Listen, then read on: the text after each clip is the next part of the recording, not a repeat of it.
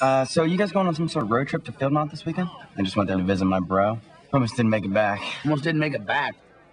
Dude, it's just college. Yeah, see, that's what I thought. I didn't sleep for three days. Okay, I don't have any money left in my bank account. I maxed out my parents' credit card, which was only supposed to be used in case of an emergency. I tried smoking a tampon, wet my brother's bed twice. Stole a car, got in a bar fight, ate some goldfish, played naked frisbee, found a tattoo on my lower back of a unicorn. Don't remember getting that. I laughed, I cried. So all in all, I'd say it was pretty much the best weekend of my life.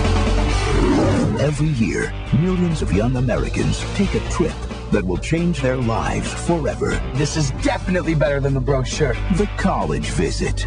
We're in town for the weekend, and we were just kind of wondering if you guys could show us around. What college are you visiting from? We're actually uh, still in high school. Alrighty then. I'll see you guys later. This summer, Is this the Beta Phi House? We're supposed to be staying here this weekend. Oh, yeah, yeah, yeah. We call this room the dungeon. Watch this step. For three best friends This is insane. No, man. This is college. getting what they want Whoa. What are you guys, freshmen? Uh, yeah. Yeah, we're freshmen. just might mean hiding who they are. Maybe your little girlfriend's over there would like to find out you guys are still in high school. We're just gonna need you to clean the house for our party tonight. They got pledges to do this? What's your step